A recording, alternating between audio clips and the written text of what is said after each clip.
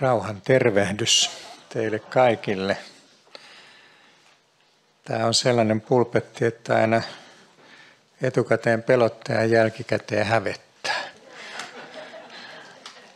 Silti tänne on tultava, kun käsky tulee. Ja ei se muuta vaadi, kun tehdään parhaamme ja sitten Herra hoitaa loput. Hän on täydellinen ja me ollaan hyvin epätäydellisiä. Rukoillaan yhdessä vielä. Kiitos Herra, että puhut meille henkesi kautta ja siunaat tämän hetken ja vaikutat Herra keskellämme. Pyydetään, että sinä tulet tänne ja sinä avaat sydämemme, sinä virvoitat ja ravitset ja vahvistat ja neuvot mitä ikinä me tarvitsemmekaan. Jeesuksen Kristuksen nimessä. Aamen. Luen täältä Hesekielin 11. luvusta jakeesta 22. Sitten kerupit nostivat siipensä ja pyörät samalla kuin ne, ja Israelin Jumalan kirkkaus oli heidän yläpuolellansa – ja Herran kirkkaus kohosi ylös pois kaupungin keskeltä ja asettui vuorelle, joka on itään päin kaupungista.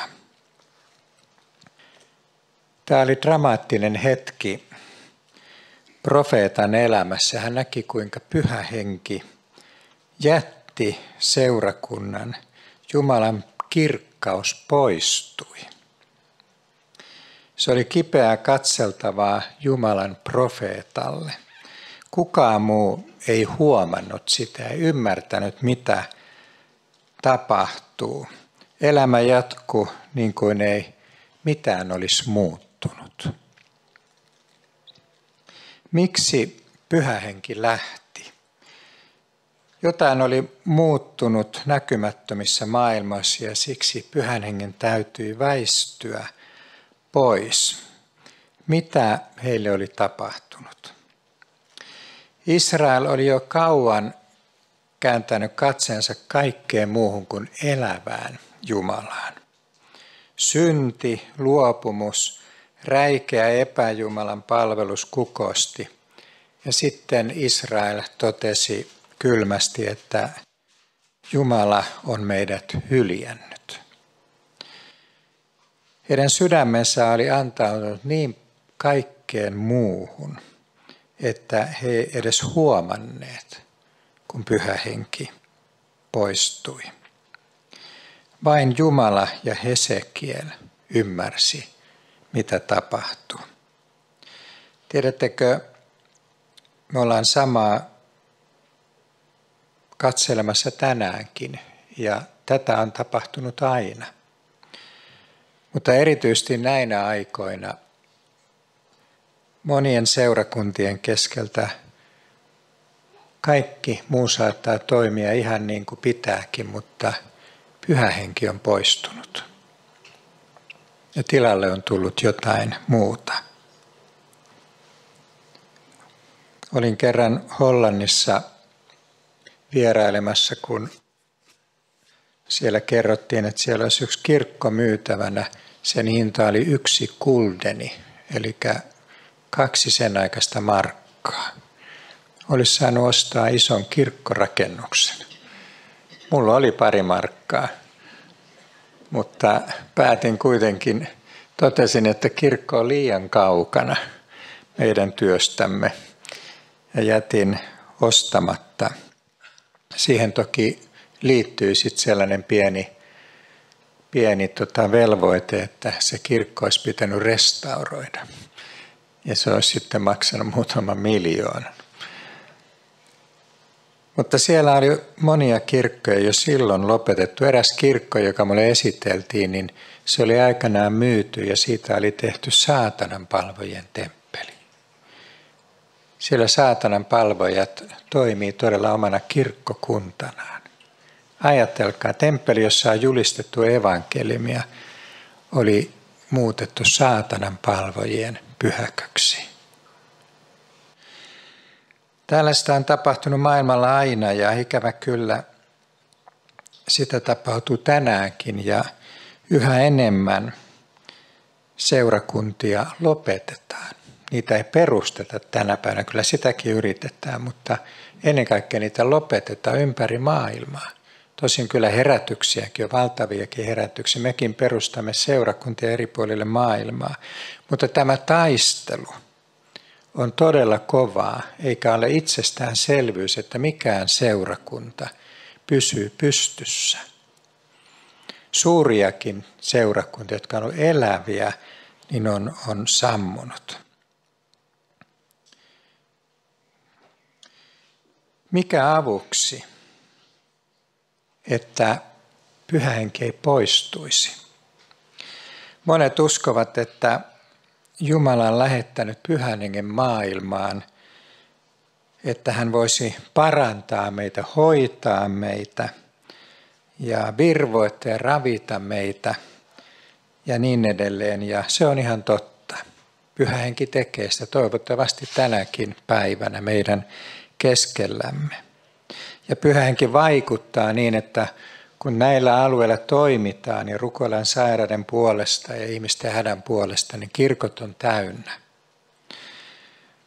Jotkut uskoo, että pyhä henki on tullut siksi, että me voidaan herättää kuolleita, ajaa ulos riivaa ja tehdä voimallisia tekoja. Sitä korostetaan tänä päivänä paljon. Ja kyllä sekin on totta. Sitä tapahtuu maailmassa. Meidänkin työmme piirissä on jopa kuollut herännyt henkiin pelkän rukouksen voimasta. Toiset sanoivat, että pyhä henki on tullut ennen kaikkea opettamaan meitä, kirkastamaan meille Kristusta. Ja sekin on totta. Sitäkin tapahtuu toivottavasti tässäkin tilaisuudessa, että pyhä henki avaa meille kirjoituksia ja kirkastaa meille elävää ylösnousutta Jeesusta. Mutta on jotain vielä, joka on hyvin tärkeää ymmärtää. Jotain vielä suurempaa. Pyhä henki on tullut, jotta me muuttuisimme. Raamattu sanoi, että te saatte voiman, joka muuttaa teidät. Olet lukenut, kuinka Pietari pelokkaana yläsaalissa suljettuvien ovien takana – rukoili muiden kanssa juutalaisten pelosta, niin kuin Raamattu sanoo. Mutta sitten käännät vain sivun Raamattua, ja hän on keskellä Jerusalemin kaupunkia ja saarna, että Israelin miehet, mitä te tätä ihmettelette? Pietari muuttui. Yhtäkkiä. Hänestä tuli aivan toinen ihminen. Samalla tavalla Paavali muuttui muuttui. Aivan valtava muutos yhdessä miehessä muutamassa päivässä. Jaakob muuttui, Parnapas muuttui, Johannes muuttui ja miljoonat miljoonat ihmiset on muuttuneet sen jälkeen. Yksi ei ole noissa raamatun tapahtumissa muuttunut ja hän oli Juudas Iskariot. Hän ei suostunut muutokseen. Hän ei suostunut kuuntelemaan pyhää henkeä ja antautumaan sille työlle, minkä pyhä henki halusi hänessä tehdä. Ja sen sijaan, että hän olisi muuttunut Kristuksen kaltaiseksi, hän vajosi täyteen pimeyteen. Ja niin kuin tiedämme, Raamattu sanoi, että lopulta häneen meni perkele. Ja hän nousi Jeesusta vastaan. Ihmiset tulee sieluhoitoon monien taakkojen kanssa. Jotkut sanoo, että en taida jaksaa enää, ellei minun mieheni muutu. Otan avioeron, jos vaimoni ei muutu, ei tästä tule mitään. Jos vain äitini olisi toisenlainen, tuonta, että tämän ihmisen täytyisi muuttua. Rukoile joka päivä heidän puolestaan. Eräs pastori, hän oli loppuun palannut työssään ja suunnitteli ihan uudenlaista elämää ja elämä oli niin kuin, hän oli kulkenut tiensä päähän. Ja sitten hänen vaimonsa sanoi hänelle, että sinä et tiedä, mitä sinä menetät, jos sinä menetät minut. Ja silloin tämä pastori hämmästyi. Ja alkoi miettimään, hän pysähtyi täysin. Meni muutama viikko. Tämä pastori jäi sairaslomalle ja sitten yhtäkkiä tapahtui jotain. Hän muuttui. Hän rakastui vaimonsa uudestaan. Sitten hänen saarnansa muuttui. Hän uudistui kokonaan hengellisesti. Vaimokin muuttui siinä mukana. Ja koskaan tämä pastori ei ollut niin onnellinen avioliitossaan kuin sen jälkeen. Ja tämä pastori sanoi, että tämä oli valtavaa Jumalan armoa. Ainoa, jonka piti muuttua, oli minä itse. Ei kenenkään toisen. Meillä on ystävät tänään valtava ilo sanoma täällä Raamatun lehdillä. Muutos on mahdollinen. Me jokainen voidaan muuttua edelleenkin. Muuttua Kristuksen kaltaiseksi. Jumala on niin suuri, että hän ei vain muuta olosuhteita ja asioita, kyllä hän sitäkin tekee, vaan hän muuttaa meidät. Ja silloin kun me muutumme, kun minä muutun syvästi, niin mun ympäristökin alkaa muuttua. Ja siinä voi tapahtua valtava mullistus. Se on yleensä aina seurausta, kun pyhähenki saa todella ilmestyä ja koskettaa. Kun ihminen uudesti syntyy, niin Jumala, Jumala saattaa tarttua kaikkeen, ei vain ihmisen elämää, vaan koko ympäristön ja mullistaa kaiken. Näitä tarinoita löytyy vaikka kuinka. Moni sanoo, että en jaksa enää, ellei olosuhteet muutu. Jumalan täytyy antaa uusi puoliso, uusi asunto, kesämökki ja polkupyörä, mitä tahansa. Tänään ihmiset, tiedätkö, kiertää seurakunnasta toiseen ja etsii parempaa seurakuntaa, parempaa tunnelmaa, voimallisempaa julistajaa jotain, joka tekisi minut hetkeksi onnelliseksi. Saisi jotain, jotain kiksejä, niin kuin ne sanoo. Eräskin mies oli pari vuoden aikana kuulunut jo viiteen eri seurakuntaa. Ajattelkaa, eikä sekään ole varmaan ennätys. Tälle maailmalle ja Jumalan seurakunnallekin on kerrottava tänä päivänä – että ratkaisu ei ole välttämättä se, että asiat muuttuu, olosuhteet muuttuu, seurakunta muuttuu, vaan että sinä muutut. Minä voin muuttua Jumalan voimasta. Ajatelkaa, Tapani Suontokin voi vielä muuttua. Vaikka hän on jo tällainen vanha käppyrä, niin Jumala on niin suuri, että hän voi muuttaa meitä edelleenkin. Kun ihminen saa kohdata väkevästi elävän Kristuksen, niin tiedätkö, hän huomaa, että häneltä ei puutu mitään. Kun on riittävästi oppinut tuntemaan Jeesusta ja rakastaa häntä, niin tajuaa, että tässä on kaikki. En mä tarvii mitään muuta. Maailmassa on miljoonia kristittyjä, joilla ei ole seurakuntaa. Ei minkäänlaista. Ei vaimoa, ei kotia, ei todella edes polkupyörää. Mekin ostetaan polkupyöriä meidän evankelistolle suuret määrät Intiassakin. Ei niillä ole, ne kulkee kävellen kylästä kylään kertomassa Kristuksesta. Näillä ihmisillä ei ole mitään muuta kuin Jeesus. He rientää tälläkin hetkellä paikkakunnalta toiselle kertomassa, miten rikkaita he on Kristuksessa. Ajatelkaa. Niin köyhiä, että kukaan meistä ei täällä, eikä varmaan koko Suomessakaan ole niin köyhä. Ja niin monta kertaa piesty vielä, pahoin pidelty, hyljätty. Ja siitä huolimatta he riemuiten kiertää edelleen kylästä kylää kertomassa Jeesuksesta. Ihminen, jolla on Jeesus ja paljon muuta, ei omista yhtään sen enempää kuin ihminen, jolla on vain Jeesus. Ja ihminen, jolla on kaikkea muuta, mutta ei Jeesusta, niin hänellä ei ole mitään. Hän on rutiköyhä. Tämä on asia, joka on pelkkä klisee ennen kuin ihminen kokee sen. Mutta sen voi ystävät kokea tämän elämän aikana. Kokea todella konkreettisesti, että Jeesus riittää. Että mä en tarvii mitään muuta, mä voin luopua kaikesta.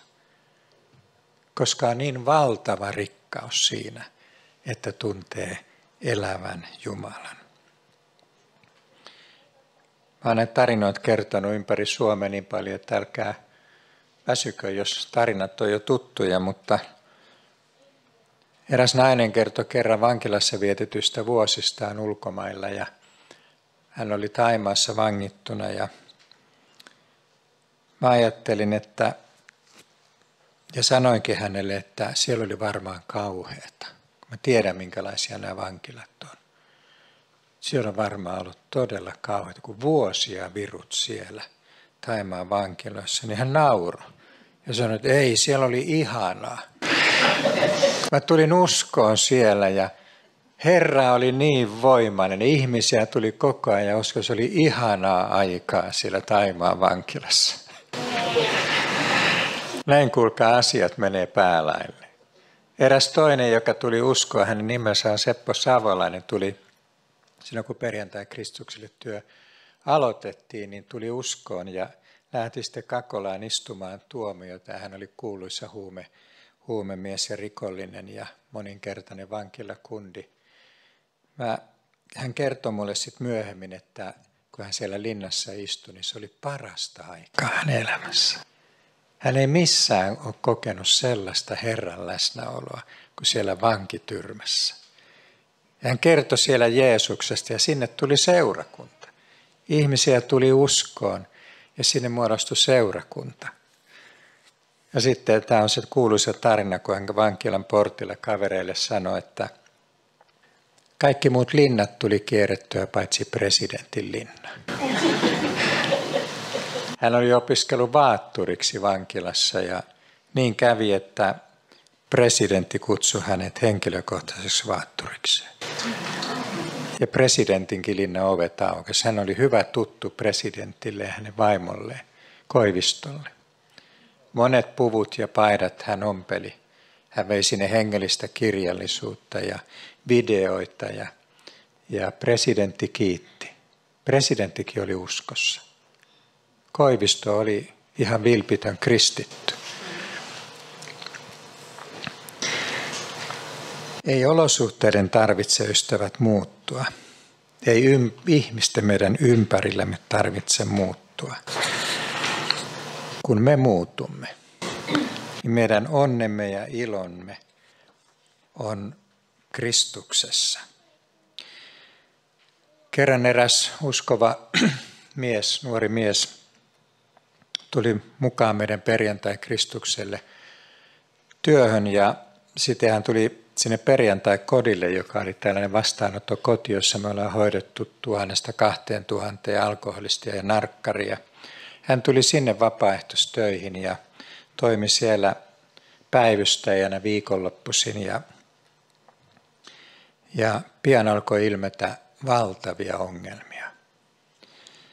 Hän joutui riitaan jokaisen miehen kanssa. Hänen mielestään ne miehet oli niin kierroja ja valheellisia – hän vaati, että näiden miesten täytyy muuttua. Ei tästä mitään tule. Tuolta mäeltä piti poistaa äkkiä yksi mies, ettei tulisi ruumiita. Ja se oli tämä uskovainen. Kaikki muut sai jäädä. Hän ei kyennyt olemaan tuossa työssä. Tämä mies oli kaikessa oikeassa. On totta, että nämä miehet, joita me hoidetaan, niin ne on monet kierroja kuin korkkiruuvit. Täysiä huijareita. Ne on ryöstänyt meidät monta kertaa. Meiltä on kaikki varastettu sieltä hoitokodit, mitä vaan mahdollista. Ensin me autetaan heitä ja sitten he ryöstää meidän kassakaapia. Faksin yksi varasti keskellä yötä ja poliisi näki yöllä, kun mies polkee fillarilla faksi takapakilla ja pysäytti sen ja se oli varastanut varmaan meidän polkupyöränkin sieltä ja poliisi kytki faksin seinään ja se tulosti meidän puhelinnumero ja sitten poliisi soitti meille ja kysyi, että onko teiltä faksi kadonnut. Sanoi, että faksi on kadonnut ja ovi on murrettu ja sorkkarauta on vaan täällä paikalla. Ja poliisi sanoi, että tuo mulle se sorkkarauta, niin mä annan sulle faksin.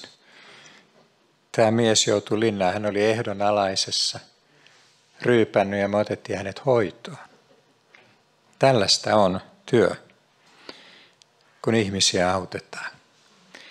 Kerran meillä oli siellä hoitokodilla päivystämässä yksi Veikko Tikka, sellainen liikemies, joka jäi varhaiseläkkeelle Tampereelta ja tuli meidän työhön sieltä mukaan. Ja kun hän oli ensimmäisen viikonloppu valvonut siellä, niin hän kuiskas mun korvaani, että mä olisin halunnut tappaa ne kaikki.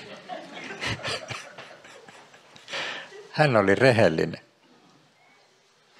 Ei hän tappanut.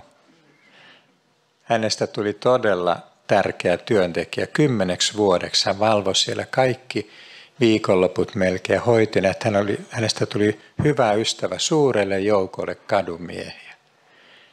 Jumala antoi hänelle rakkauden näitä miehiä kohtaan. Tämä Veikko Tikka muuttui. Hän onko rakastaa näitä miehiä Kristuksen rakkaudella. Tapahtui ihme. Ja miehestä, joka olisi halunnut tappaa ne kaikki, niin hänestä tuli Jumalan ase, koska hän suostui muutokseen. Ja Jumala käytti häntä voimallisesti, oli hänen hautajaisissaan. Tuossa muutama vuosi sitten hän lähti taivaan kotiin 87-vuotiaana. Pitkään hän teki arvokasta työtä. Tuskin kukaan tiesi, mitä hän teki. Edes sukulaiset ei tarkkaan tiennyt. Mä kerroin siellä hautajaisissa, mikä mies oli Veikko Tikka. Monille se oli aivan uutta. Hänestä tuli ase Jumalan valtakunnan työhön, kun pyhä henki kohtasi häntä. Ilman sitä hän ei olisi voinut tehdä mitään. Ilman sitä me ei kukaan kyetä mihinkään.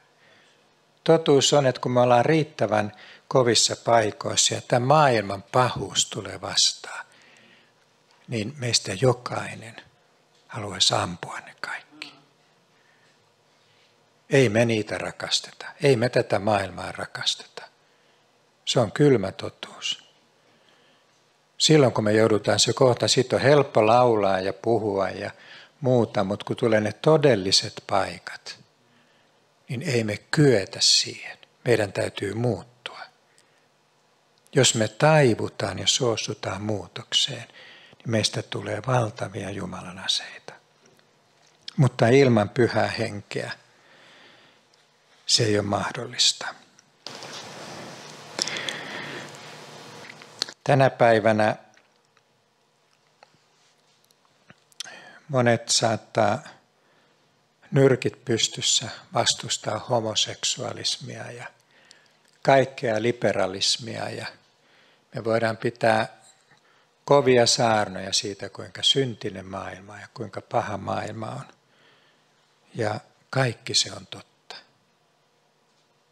Eikä me edes pystytä kuvaamaan tältä saarnapöntöstäkään, kuinka huonosti maailman asiat. Mutta tiedätkö, jos me kuunnellaan pyhää henkeä, niin saattaakin käydä niin, että kuule, ainoa, jonka pitäisi nyt muuttaa olet sinä itse. Sinun täytyy muuttua. jotta maailma voi muuttua ympärillä. Sinä tarvit pyhää henkeä. Sinä tarvit Jumalan voimaa, että kykenet rakastamaan ja kertomaan Kristuksesta niin, että ihmiset muuttuvat. Me voidaan olla ihmisiä, jotka seisoo rohkeana ja päättäväisenä vaatimassa muutosta kaikkeen, mitä me nähdään ympärillämme. Kaikkiin ihmisiä, kaikkiin seurakuntiin ja koko yhteiskuntaa. Ja me ollaan kaikessa oikeassa. Joka asia on totta, mitä me sanotaan. Mutta jos me pystytään kuulemaan, mitä pyhä henki sanoo, niin hän saattaa sanoa, että ainoa, jonka pitää muuttua, nyt olet sinä. Ja silloin voi Jumala alkaa toimia. Kyllä Jumala tietää, että maailmassa asiat on huonosti. Ja kyllä tämä maailmakin tietää sen, miten paha on maailma. Mutta tämä maailma ei tarvitse sanomaa maailman pahuudesta, vaan sanomaa Jumalan voimasta ja rakkaudesta, jolla Jumala rakastaa tätä maailmaa. Kyllä meidän tulee synnistäkin puhua, mutta täytyy aina muistaa se, että kyllä jokainen ihminen tietää olevansa syntinen. Siksi he tarvii enemmän, he tarvii sanomaa pelastavasta Jeesuksesta, joka muuttaa ihmisen. He tarvii niitä todistuksia, joita tänäänkin kuultiin. Jumala on tullut muuttamaan meidät ja meidän kohtalomme. Ja se on se ilosanoma, joka meidän tulee julistaa tälle maailmalle. Ajatelkaapa kuningas Saulia. Kun hän sai kohdata Jumalan ja täyttyä hänen hengellään, Raamattu sanoi, että Saul muuttui toiseksi mieheksi. Mäkin haluaisin muuttua toiseksi mieheksi. Mä tiedän paremmin kuin kukaan teistä, kuinka paljon me tarvii muutosta. Ja kuinka heikko ja pieni olen. Saul muuttui kerran toiseksi mieheksi. Olen mäkin saanut monenlaista muutosta kokea, mutta edelleen janoan sitä, että Jumala saa vaikuttaa minussa. Koska jos hän saa muuttaa minua ja ilmestyä minulle, niin silloin hän voi ilmestyä mun ympäristössänikin ja tehdä sen, mitä hän tahtoo. Moni huokaa tänään murheellisena, moni kipuilee itsensä kanssa ja ajattelee, että kumpa minä jaksaisin tai osaisin muuttua. Kumpa kykenisin rakastamaan enemmän. Kuinka voisin olla edes vähän enemmän Kristuksen kaltainen. Joku sanoi, että mä oon kaikkeni yrittänyt, mutta en mä kykene siihen. Mutta meillä on raamatussa, ystävät, ilosanoma. Kuuntele tarkkaan, mitä raamattu sanoo. Me kaikki, jotka peittämättömin kasvoin katselemme Herran kirkkautta kuin kuvastimesta, muutumme saman kuvan kaltaiseksi kirkkaudesta kirkkauteen, niin kuin muuttaa Herra, joka on henki. En ole saarnamassa tänään lakia, vaan evankeliumia. Jumala on lähettänyt oman poikansa maailmaan. Meidän tähtemme, että me saamme muuttua. Meidän ei tarvitse muuttaa itse itseämme. Sinun täytyy vain uskoa Jeesukseen, panna toivosi Kristukseen ja nähdä hänet Jokainen, joka kiinnittää katseensa elävään Jeesukseen, etsii häntä koko sydämestään, alkaa muuttua. Meissä tapahtuu Jumalan ihme. Paavali oli pahempi meitä kaikkia. Hän vainosi kristittyjä kaikkialla. Hän oli valmis tappamaan kaikki. Ajatelkaa. Mutta sitten tapahtui jotain. Hän näki ylösnouseen Jeesuksen. Hän kiinnitti katseensa Kristukseen. Ja hän muuttui täysin. Hän paastosi ensin ja etsi koko sydämestään. Ja Jeesus ilmestyi hänelle ja muutti hänet ja hänen kohtalonsa, hänen tulevaisuutensa. Ja pian Paavali sanoi, että pidän kaiken entisen roskana Kristuksen tuntemisen rinnalla. Näitä todistuksia raamattu on täynnä ja näitä todistuksia on tämä sali täynnä. En mä puhu nyt mistään sellaisesta, joka on teille uutta, mä vaan muistutan. Nämä totuudet on meille tuttuja. Ei me täällä oltaisi, sille Jeesus olisi tarttunut meidän elämään. Sä itse tiedät, miten paljon hän on vaikuttanut juuri sinun elämässäsi. Mongoliassa eräs taksikuski sanoi kerran, että kun hänelle kerrottiin Kristuksesta, että joo, minäkin olin vähän aikaa uskossa, mutta ei se toiminut. Hirveän moni ajattelee tänään niin. Tiedätkö, monet ihmiset, jopa ylistyksen johtajat ja pastorit ympäri maailmaa, se on ihan tällainen epidemia nyt Amerikassakin. Kuuluisat suuret ylistyksen johtajat luopuu uskosta. He toteavat, että ei toi toiminut en mä jaksa enää. Mikä ei toiminut? Ei Jeesus ole mikään siunausautomaatti. Ei hän tullut maailmaan, jotta elämä muuttuisi, jotta olisit rikas, terve ja onnellinen. Että saisit uuden auton, paremman asunnon, hyvän työpaikan, kesämökin lumiskootteri ja mitä tahansa, mitä toivot. Jos me sellaista odotetaan, sellaista muutosta, niin me petytään. Koska se ei ole tämän jutun ydinasia. Kyllä Jumala vastaa meidän rukouksiimmekin. Me saadaan anoa häneltä.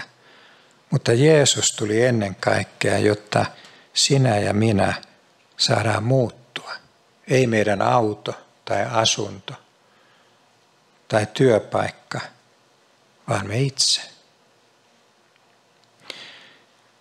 Ja kun sä viivyt jonkin aikaa rukouksessa, raamattua lukien hiljaisuudessa, katselet Jeesusta, kuuntelet häntä, silloin sä ymmärrät, mistä mä puhun. Se muuttaa sinua enemmän kuin arvaatkaan. Ja se mullistaa sun elämäsi, kun sä alat ymmärtää ja kokea, että elävä Jumala puhuu sulle. Eräs saaramies sanoi, että mullistavin hetki hänen elämässään oli, kun hän ensimmäistä kertaa tajusi, että Jumala puhuu. Jumala rakastaa koko maailmankaikkeuden luen rakastaa häntä niin paljon, että hän puhuu hänelle. Se mullisti hänen koko elämänsä. Kun sä luet raamattua ja etsit Herraa, sä saat kuulla Jumalan äänen pyhä henki alkaa puhua. Ja se on valtava siunaus. Sä saat elää siinä todellisuudessa, missä on elävä Jumala.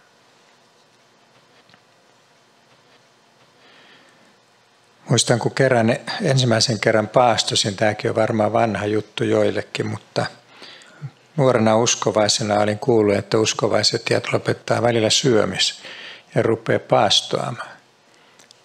Ja niin mäkin koitin sitä ja muutaman päivän kipuilin. Ja mietin jatkuvasti juustosämpylää. Mutta jaksoin kolme päivää ja sitten oli riemullinen hetki, kun sain syödä. Sitten mä lähdin Helsingiin jotain asioita hoitamaan ja seisoin siellä, siellä tuota Mannerimintien ja Simonkadun risteyksessä – valot oli punaiset ja ihmisiä kulki siitä ohi ja mä katselin niitä ihmisiä ja yhtäkkiä mut valtas valtava sääli näitä ihmisiä kohtaan. Ne oli niin taakotettuja ja sidottuja ja masentuneita toivottomia. Mä tajusin jotenkin, että, että voi kauhean miten paljon nämä ihmiset tarvii Jeesusta. Näille tarvii kertoa Kristuksesta. En mä ollut koskaan nähnyt ihmisiä sellaisin silmin. Jotain oli muuttunut mun sisimmässäni, kun mä katsoin kolme päivää vain Jeesusta. Näitä kokemuksia mulla on, ne on vieneet mut Jumalan valtakunnan työhön. Ne teki minusta evankelistan. Se, että mä muutuin. Näin Jumala toimii. Niissä hiljaisissa hetkissä, ne on niitä tärkeimpiä. Ei nämä edes nämä kokoukset, vaikka hyvä, että tulet näihinkin. Mutta ne hiljaiset hetket Jeesuksen jalkojen juuressa, ne on ne, jotka on sulle tärkeimpiä. Ne hetket tarvitaan, että sä jaksat vaeltaa perille taivasta valtakuntaan. Niitä me tarvitaan. Me tarvitaan Jeesusta. Ja hänellä on vastaukset meidän monenlaisiin ongelmiin. Kun Jumala kutsui, tämäkin on vanha juttu jo, Jumala kutsui mut evankelistaksi – kansan raamattoseuraan yhtäkkiä sainkin paikan sieltä evankelistan. Ja mä olin hirvittävän ujo, pelokas ihminen. Mikään ei ollut niin kauhea ajatus kuin, että mä nousisin tänne lavalle ihmisten eteen. Jos mä olisin tännekin kokouksen tullut, niin mä istuisin luultavasti tuolla nurkassa tai tuolla nurkassa – ja katselisin, katselisin kauhulla ja ihmettelin ja kunnioituksella noita, jotka tuolla lavalla seisoo, että kyllä ne on rohkeita ihmisiä. Ja sitten mut kutsuttiin evankelistiksi. Ja muistan aina, kun ensimmäistä kertaa olin, olin tuota Santahaminan varuskunnassa, mut kutsuttiin puhumaan varusmiehille, sama ikäisiä kuin minä monta sataa varusmiestä, harmaita vihasen näköisiä miehiä siellä edessä. Mä kauhulla odotin, että koska mun vuoroni tulee ja tiesin, että ei tästä mitään tule, kun mä olin koulussa aina kärsinyt siitä, että jos mä onnistuin kirjoittamaan hyvän aineen ja opettaja laittoi mut lukemaan sen, niin ei siitä tullut mitään. Mä olisin, meinasin tukehtua. Jos mä jouduin yleisön eteen, mä jännitin niin hirveästi. Se ei ollut mahdollista. Ja nyt mä joudun satojen vieraiden ihmisten eteen. Ja sitten kun se kutsu tuli, että nyt Tapani Suonto, olkaa hyvä, niin mä astuin tietysti siihen mikrofoniin. Mä päätin, että mä kuljen tämän tien läpi, katsotaan miten tässä käy. Ja niin mä tulin siihen mikin ääreen ja katselin niitä ihmisiä ja tiesin, että tästä ei tule mitään. Mutta sillä hetkellä sellainen lämmin virta tuli tuolta ylhäältä. Se kulki koko mun kehoni läpi. Mä olin täysin vapaa. Mä julistin evankelmi niin kuin kokenut saarnaaja. Se oli valtava ihme. En mä tässä olisi, jos ei Jumala olisi ilmestynyt. Mutta mä muutuin. Hän voi muuttaa meidät monella, monella tavalla. Ja jos hän kutsuu meidät johonkin tehtävään, niin se tarkoittaa sitä, että jos me ei kyetä siihen, niin hän tulee avuksi ja muuttaa meidät niin, että me pystytään. Hän on vastuussa, ei me. Meiltä odotetaan vain kuuliaisuutta. Me tehdään se, mitä Jeesus haluaa. Ja hän ottaa vastuun kaikesta.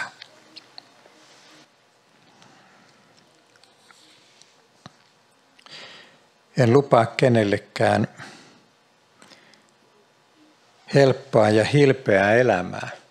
Vaikka Jeesus sanoikin, että tämä minä olen teille puhunut, että minun iloni olisi teissä. Ja teidän ilonne tulisi täydelliseksi. Kyllä me sitäkin saadaan kokea. Mutta uskovan elämä on monenlaista taistelua. Mutta se on myös rauhaa ja iloa pyhässä hengessä. Ja se on se elämän rikkaus kaiken taistelun keskellä. Sillä ei Jumalan valtakunta ole syömistä ja juomista, vaan vanhurskautta ja rauhaa ja iloa pyhässä hengessä. Niin kuin moni teistä tietää, ei sellaista iloa, ei sellaista rauhaa voi kokea kukaan muu kuin Jeesuksen oma. Se on niin syvä tyytyväisyyttä ja iloa ja rauhaa. Jos sinä uskot sen, sinä löydät sen. Jokainen, joka etsii, niin löytää. Ja saa omistaa tuon kaiken omaan elämäänsä. Palataan takaisin Hesekieliin, mistä lähdettiin liikkeelle. Hesekiel suri sitä, kun hän näki Jumalan kirkkauden poistuvan seurakunnan yltä.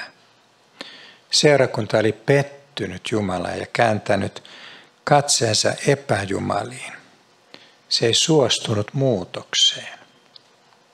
Mutta kun Baabelin vankeus oli kestänyt 14 vuotta, Hesekiel näki uuden näyn. Israel oli raatanut pitkään siellä Babylonien virtain äärellä. He itki muistellessaan Sionin kunniaa. Heillä ei ollut mitään, mitä laulaa, ja he ripusti harppunsa pajujen oksille. He eivät aikanaan nähneet, miten Herran kirkkaus poistui heidän keskeltään. Heillä oli kaikkea muuta, joka täytti sydämet ja mikä riitti heille. Mutta nyt he ymmärsivät, mitä he oli kadottaneet ja itkivät sitä. Ja silloin Hesekiel saa uuden näyn. Hän näkee uuden kaupungin, jonka Herra tulee rakentamaan. Hän näkee, kuinka Herran kunnia jälleen täyttää temppelin. Ja sanoi, että niin minä lankesin kasvoilleni. Hän sai jälleen nähdä Herran kirkkauden. Ja kaupungista hän sanoo Heseke 48.35, kaupungin nimi on tästä edes oleva Jahve Samma. Herra on täällä. Kun Jumala antoi Hesekelin katsoa sinne verhon taakse salattuun maailmaan, missä kaikki on paljastettua – aikojen loppua myöten, niin hän saa nähdä suuren salaisuuden. Tuon siunatun kaupungin, tuon elämän ja onnen ja unelmien täyttymyksen salaisuus ja keskipiste on Jahve Samma. Herra on täällä. Ei ole ystävät olemassa mitään muuta vastausta, mitään muuta tietä meille – kuljettavaksi, jos me halutaan nähdä Jumalan kirkkauden ilmestyvän. Elää seurakunnassa, jonka yllä lepää pyhän hengen voima, jonka keskellä saadaan kokea rukousvastauksia, herätystä, meidän tarpeemme täyttymistä, Jumalan moninaista apua. Se on Jahve Samma. Herran läsnäolo, Herra on täällä. Meillä on monenlaisia tarpeita, ystävät. Ei Jumala väheksy meidän tarpeita, meidän kipuja ja murheitamme. Ei hän väheksy meidän sairauttamme ja ahdistustamme, mutta elämä ei ole siinä, mitä hän antaa. Ei edes armolahjoissa elämä on Jahve Samma. Herra on täällä. Ihminen, joka rakastuu Jumalan läsnäoloon, on onnellinen kaikkialla. On sitten linnassa tai vapaana. On sitten onnellisessa avioliitossa tai hankalassa avioliitossa. Toki me kaikki toivomme helppoa elämää, se kuuluu tähän ihmisyyteen. Mutta on hyvä ymmärtää, että toiset rukoilee, että he pääsis pois Siperiasta – ja toiset lähtee Siperiaan kertomaan Kristuksesta. Se kertoo Jumalan voimasta. Se kertoo siitä, että ihminen voi muuttua niin totaalisesti, että hän lähtee sinne, mistä toiset pakenee. Moni tulee seurakuntaankin suurin odotuksin, jos pastorilla olisi tänään sana Herralta minulle, eikä siinä ole mitään väärää. Mutta ei pastorilla ole mitään annettavaa, jos ei täällä ole Jahve Samma. Tämä on tuttua teille kaikille. Kyllä täällä on ollut Herra läsnä. Mutta se on se elämän ydin. Ellei Herra ole täällä, niin ei täällä ole elävä Jumalan sanakaan. Me tarvimme Jumalan läsnäoloa.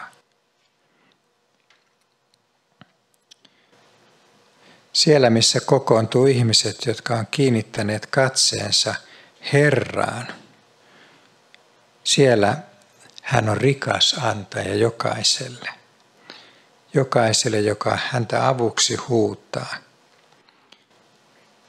sillä hän on läsnä.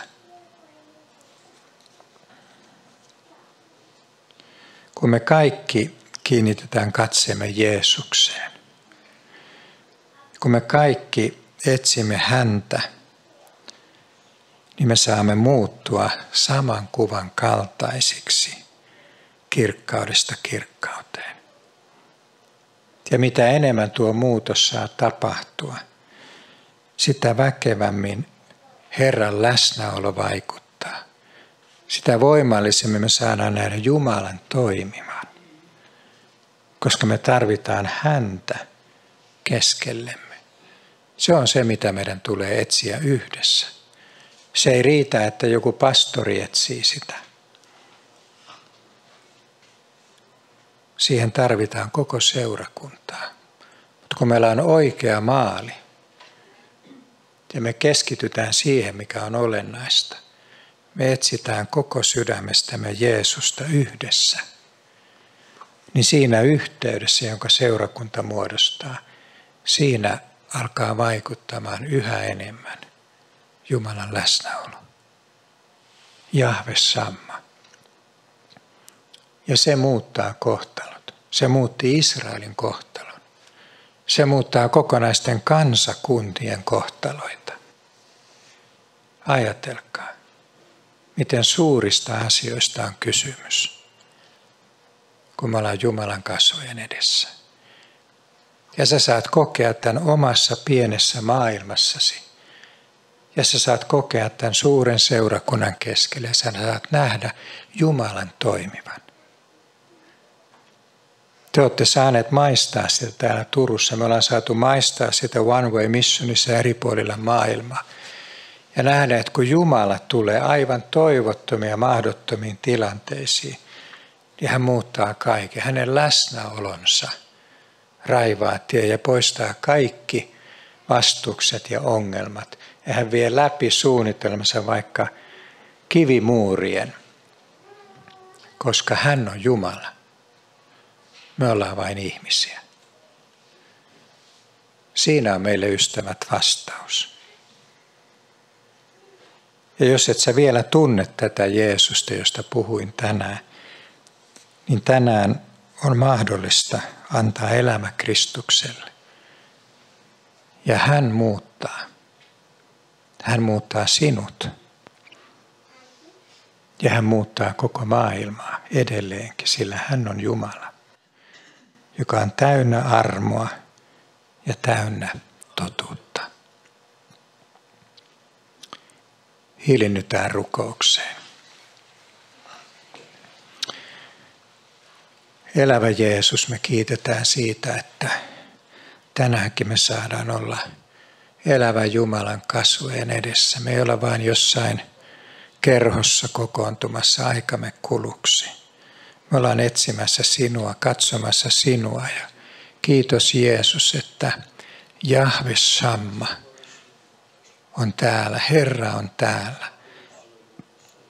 Siksi Herra, me olemme kokoontuneet, sinua me janoamme. Kiitos, että olet ollut seurakunnan keskellä ja kiitos, että haluat ilmestyä tämänkin seurakunnan keskellä voimallisesti. Auta meitä, Herra, uudella tavalla kiinnittämään katsemme sinuun, niin että me saamme muuttua Kristuksen kaltaiseksi. Herra, auta, että koko seurakunta saa edelleen kasvaa, muuttua ja kasvaa sinun kaltaiseksesi, Herra, niin että sinun suunnitelmasi ja tahtosi saa toteutua tämän seurakunnan keskellä. Herra, sinä voit tehdä väkeviä koko Turussa, kun sinä saat ilmestyä. Kiitos Herra, että sinussa on elämä, sinussa on ikuisuus, sinussa on yltäkylläisyys. Eikä me tarvita mitään muuta kuin sinua, ollaksemme onnellisia. Kiitos Herra, että autat meitä muistamaan sen ja pysymään Kristuksessa lähellä sinua, että sinä saat tehdä kaiken sen hyvän, mitä olet suunnitellut meille itse kullekin – ja koko tälle seurakunnalle. Jos täällä on joku tänään, joka ei tunne Jeesusta, niin voit tänään antaa elämäsi hänelle. Voit nostaa vaikka kätesi ylös ja rukoilen sun puolestasi, jos et vielä ole saanut ottaa vastaan Kristusta ja sulle ei ole pelastusvarmuutta.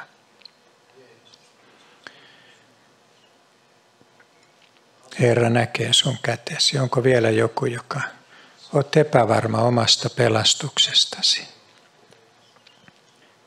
Kiitos Jeesus.